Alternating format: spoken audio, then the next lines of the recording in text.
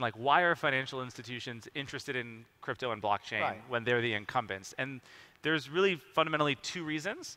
One is there is now a recognition that these networks are on an inevitable march to be the uh, fundamental rails upon which value moves over time and in the future. The internet uh, uh, did not really fundamentally disrupt financial services because there wasn't a format or an architecture that could move value the way it moved data, but that's changed over the last few years. And so there's this sense of, well, this is inevitable, we better get on this train, uh, uh, or else it's going to be a threat. And then the, the other reason why institutions are interested is because even when you're an incumbent, like a Visa, uh, there are plenty of markets that you are not an incumbent in and where you can be a challenger.